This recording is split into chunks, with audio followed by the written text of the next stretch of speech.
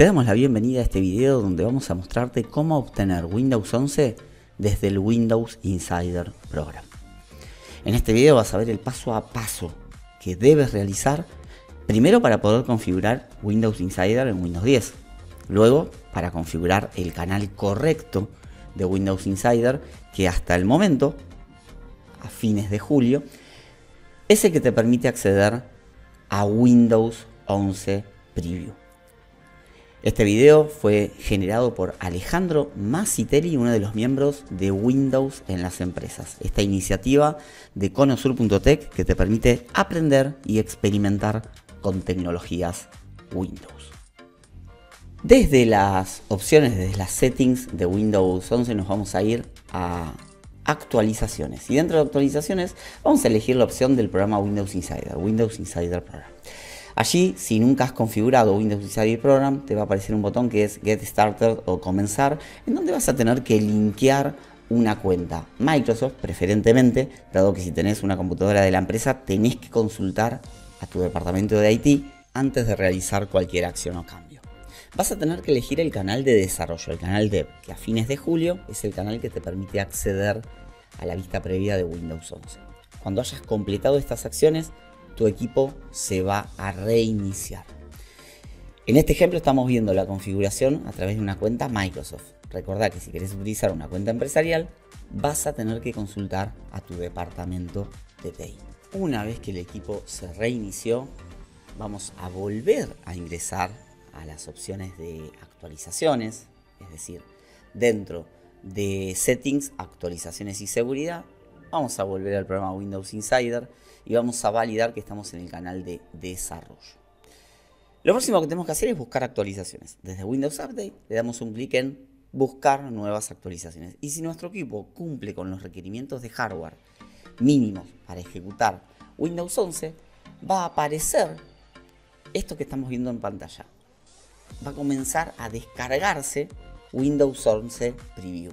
Puede ser que la versión varíe, en este caso es la 10.0.22.000.65, puede ser que en tu caso sea otra versión. Cuando Windows 11 esté listo para instalarse nos va a aparecer el botón de reiniciar. Lo único que tenemos que hacer es reiniciar nuestro equipo.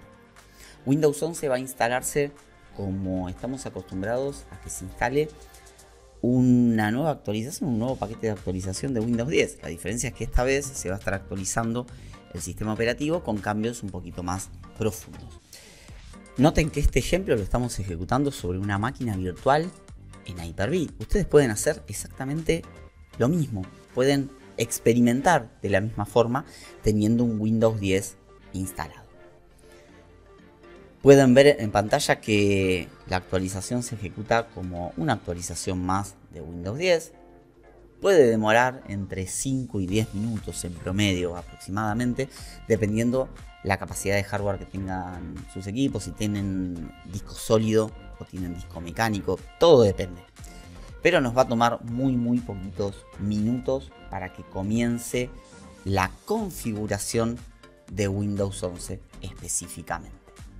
Mientras tanto te recordamos que este video forma parte de una publicación de conosur.tech, específicamente en el micrositio dedicado a Windows.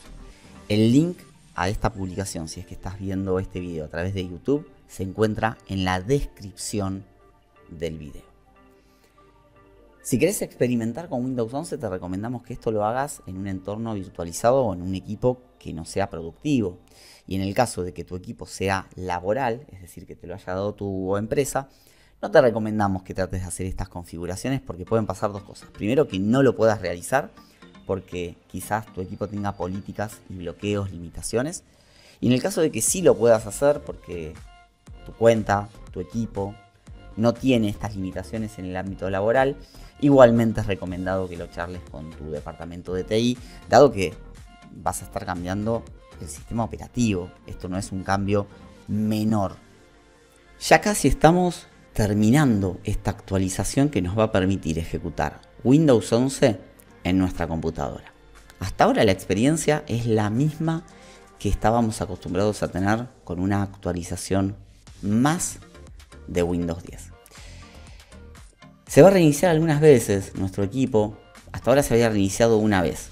Una vez que llega al 100% es la segunda vez que se, que se va a reiniciar. Pero ahora lo que vamos a tener es una experiencia nueva de inicio. Noten lo siguiente. Tenemos ya la hora y la fecha en un lugar distinto al que estábamos acostumbrados. Vamos a ingresar nuestro PIN o nuestra contraseña en la cuenta. Y cuando iniciemos vamos a tener el look and feel de Windows 11. Nos damos cuenta rápidamente porque el menú inicio y la barra de tareas está completamente centralizada. Te agradecemos mucho por ver este video. Te invitamos a darle un like si es que te gustó. Y te invitamos también a seguir explorando contenidos de Windows en conosur.tech.